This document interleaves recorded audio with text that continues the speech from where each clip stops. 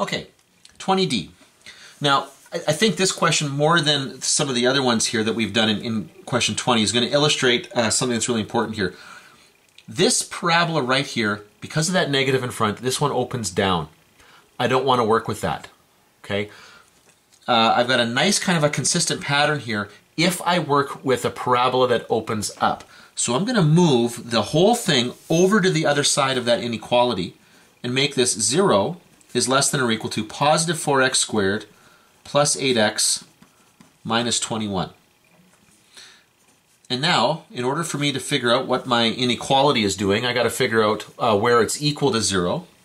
Uh, this one's a little bit more complicated here, but I, am gonna again. I'm just gonna guess and check at this. Uh, 2x and 2x. That's a, a good way of breaking apart 4. Uh, 21 is very likely going to be 3 and 7. Now at this point here, I, I don't know if this is even going to work. I'm going to try this. So 2x times 7 is 14.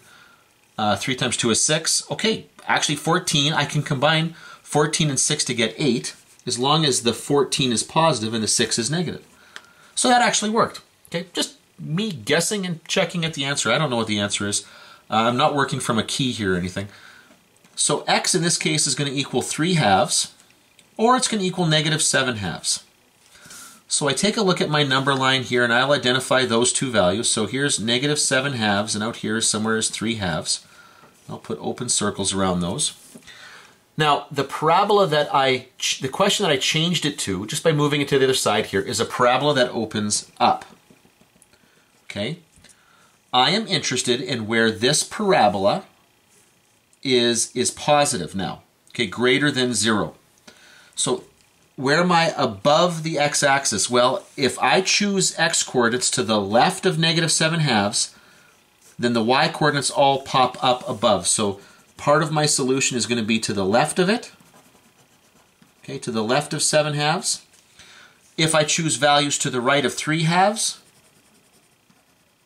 okay, the y-coordinates pop up above the x-axis. Okay, it's only when you're, the only time that this would be negative, if it's a parabola that opens up, the only time that it would be negative is when it's in between those two roots. Now to finish this problem off here, I notice that the inequality is, uh, sorry, oh, look over here, is this parabola here is greater than or equal to zero. So because it's or equal to, I will just include those. So kind of the lesson to be learned here is if the parabola opens up, okay, and, and I can always make it opening up by just moving to the side here, then I'm going to be, uh, if, if I'm looking for where it's greater than zero, it's outside the two roots. If I'm looking for where it's less than zero, uh, similar to the first question here, that would be, sorry, in between the two roots. Okay, and that's, that's how we're going to go about answering those kind of questions.